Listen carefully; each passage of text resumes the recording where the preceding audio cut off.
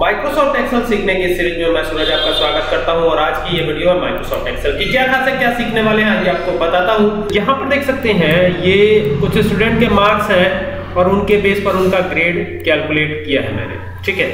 अब हम ये चाहते हैं कि हमें केवल फॉर्मूला डिस्प्ले हो तो यहाँ पर अगर आप पेस्ट स्पेशल आप ये कहेंगे कि पेस्ट स्पेशल का यूज़ कर लीजिए तो यहाँ से अगर कॉपी करके, और यहाँ पर अगर आप पेस्ट स्पेशल को यूज़ करते हैं और इसको सिर्फ़ फॉर्मूला भी बना देते हैं तो यहाँ पे सिर्फ़ फॉर्मूला डिस्प्ले नहीं होगा। यहाँ पर आपको क्लिक करना होगा, तब आपको फॉर्मूला डिस्प्ले होगा। फिर एंटर करेंगे, फिर यहाँ आपको डबल क्लिक करना होगा, तभी आपको फॉर्मूला डिस्प्ले होगा।